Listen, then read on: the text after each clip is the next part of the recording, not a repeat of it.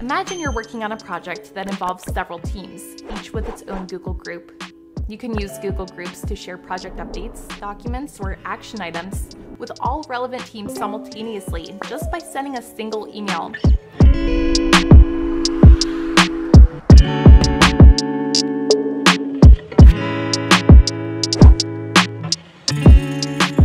Collaborative Inbox in Google Groups, a complete walkthrough. Hello and welcome back to our channel. I'm Allie, and today we're taking a deep dive into the world of collaborative inbox in Google Groups. But before we begin, if you haven't seen our previous video on setting up a collaborative inbox in Google Workspace, I highly recommend checking it out. The link is right in the description box below. A collaborative inbox in Google Groups is a fantastic tool for team management, allowing you to track, assign, and manage tasks effectively. It's like having a shared email space for your team, but how can you best use this feature? Let's discuss. First, let's weigh the pros and cons of a collaborative inbox. One, to start off, transparency and accountability are huge advantages when it comes to Google Groups. For example, if you're running a customer support team, everyone can see who is responsible for responding to each customer inquiry. It's clear who dropped the ball if a customer's email goes unanswered, too. But on the flip side, it can become overwhelming. If your team is receiving hundreds of emails a day, the collaborative inbox can quickly become cluttered. This is where using a tool like Hiver, which provides a shared inbox within Gmail, can be a game changer. It offers more advanced features for managing high email volumes. Check out www.hiverhq.com for more details. Real-time tracking of progress.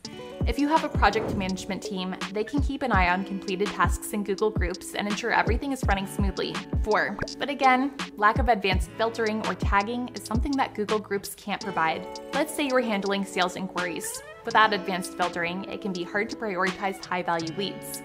Again, this is where an additional tool like Hiver can be helpful, as it has more robust email management features. With the pros and cons out of the way, let's move on to some actionable tips complete with real-world examples to help you use your collaborative inbox to its fullest. 1. Encourage your team members to use the Assign and Assign to Me features. Let's say you're running a marketing team and you get an email about a potential partnership opportunity. You can assign that email to your partnership manager to ensure it's handled properly. 2. Promote regular updates of the task status. If you're a project manager, knowing that your graphic designer has finished the banner for the next campaign and marked it as complete can help you keep the project on track. 3 use the send email as the group feature. This can be particularly useful if you're a customer support team and want the response to come from support team rather than an individual. 4. Utilize the Mark as Complete feature. If you're a customer service manager, once a complaint has been resolved, marking it as complete will declutter your inbox and make tracking unresolved issues easier. There you have it, a complete walkthrough of using a collaborative inbox in Google Groups, complete with real-world examples. If you found this video helpful, hit that like button and share it with your team. If you have any questions or experiences you'd like to share, drop a comment below. We also recommend that you check out our guide on shared inboxes using the link in the description below. It explains the key functionalities of shared inboxes and how it helps teams collaborate on emails effectively. And if you haven't already, subscribe to our channel for more insightful tutorials and tech tips. This is Allie signing off. Stay organized and see you in the next video.